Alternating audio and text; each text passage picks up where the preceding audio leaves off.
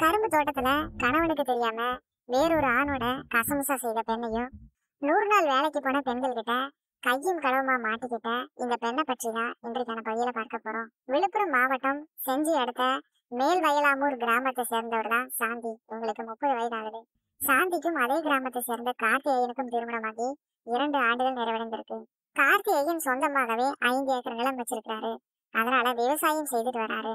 கார்த்திகேயனுக்கு அவ்வப்போது உதவியா? சாந்தியும் தோட்டங்களுக்கு வந்து விவசாய வேலைகளை பார்ப்பாங்க.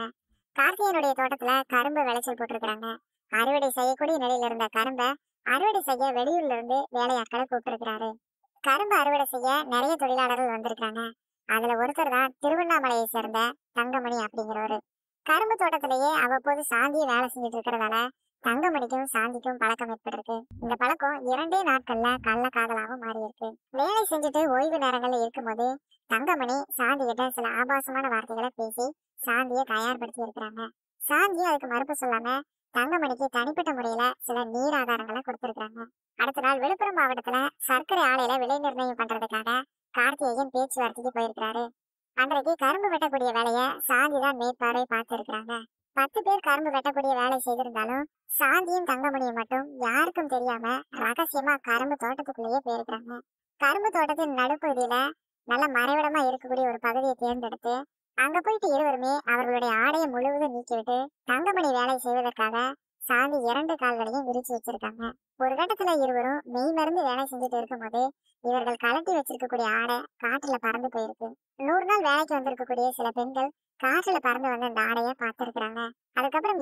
என்ன ஆடை பறந்து வருது அப்படின்னு அருகில போய் பார்க்கும்போதுதான் கரும்பு தோட்டத்துக்கு நடுவே இருவரும் நிர்வாண குளத்துல இருந்திருக்காங்க இதை பார்த்து அந்த நூறு நாள் வேலை செய்யக்கூடிய பெண்கள் எல்லாமே வெக்கத்துல தலை குனிஞ்சு திரும்பவும் வேலைக்கு போயிட்டாங்க.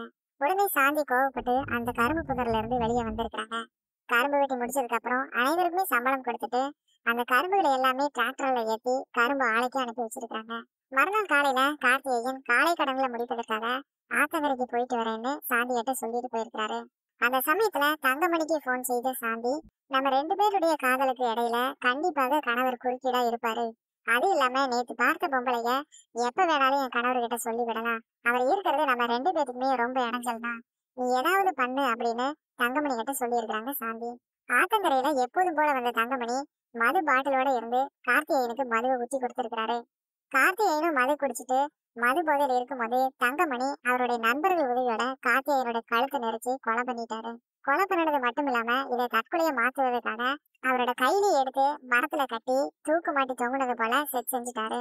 கொஞ்ச நேரம் கழிச்சு ஊர் மக்கள் எல்லாம் பார்த்து சாந்திக்கு தகவல் சொல்லி இருக்கிறாங்க அங்க வந்து காவல்துறையினர் கார்த்திகேயனுடைய உடலை பிரேத பரிசோதனைக்கு அனுப்பி வச்சிருக்காங்க பிரேத பரிசோதனை தான் இது தற்கொலை அல்ல.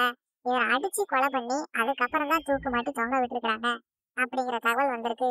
அதற்கப்புறம் விசாரிக்கும் போதுதான் நூறு நாள் வேலை செஞ்ச பெண்கள் சாந்திக்கும் தங்கமணிக்கும் நேத்து கரும்பு தோட்டத்துல நடந்த விஷயத்த பத்தி சொல்லியிருக்காங்க சாந்தி அழைச்சி விசாரிக்கும் போது நான் அவங்கள அடிச்சு பயமுறுத்த தான் சொன்னேன்.